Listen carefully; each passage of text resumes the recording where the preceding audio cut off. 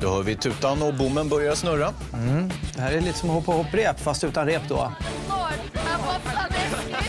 Dogge ser stabil ut. Och där rök den första Kristin, spaägaren från Norge, rakt ner i spat och ut ur tävlingen. Tre norrmän kvar. Mm, stabilt där, Dogge är säker. Han är van att planka på tunnelbanan ser man.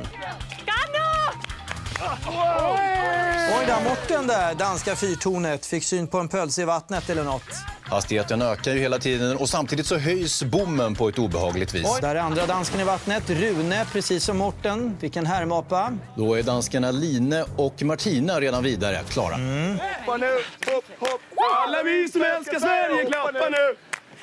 Alla vi som älskar Sverige, alla vi Här måste man ändå säga att svenskarna visar prov på enorm simultanförmåga. Sjunga, klappa och hoppa samtidigt.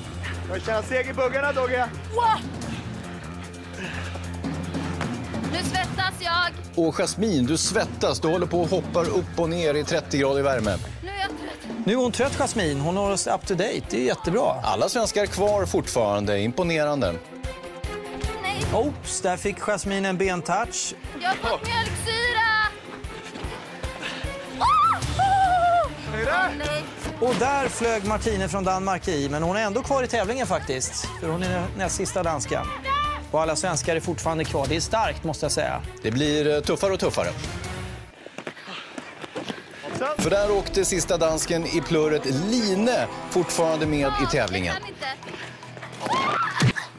Jasmin vill hoppa av. Hon väljer att spara benmusklerna. Ja, till vad undrar man. Och låter bommen göra jobbet. Ja, Dogge fortsätter träna plankning här. Och nu faller de norska som furer. Hulken och Anders som gör en saltomortal. Men de har gått vidare båda två faktiskt. Bara svenskar kvar. Det är ju fantastiskt kan man ju tycka. Tre svenskar borde gå vidare, men sådana är ju tyvärr inte reglerna. Nej. Dogge ser ut som att en tunnelbanevakt ska haffa honom ungefär. Och det där var över för cykelmannen. Lite avancerad spanska där också. Två svenskar kvar. Vad är då vitsen står kvar när man ändå går vidare? Jo, siste man vinner 5 000 kronor i bonus. Det blir många hopprep för de pengarna. Piraten håller på att bli kölhalad här, men kravlar sig upp på däck. Ja, helt i onödan egentligen.